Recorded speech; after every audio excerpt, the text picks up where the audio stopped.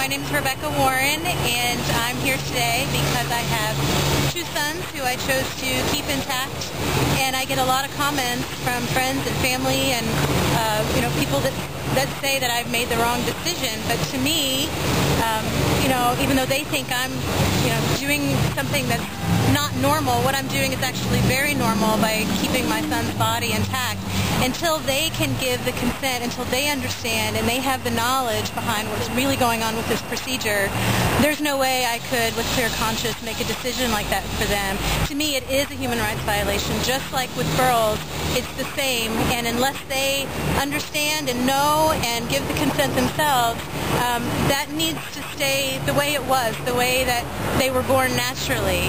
Uh, you know, their bodies are beautiful, and um, that's the choice that, that I'm going to let them make, not me. That's all. Thank you, Rebecca, and thank you for coming out here to the streets of Tampa, Florida with us. Thank you.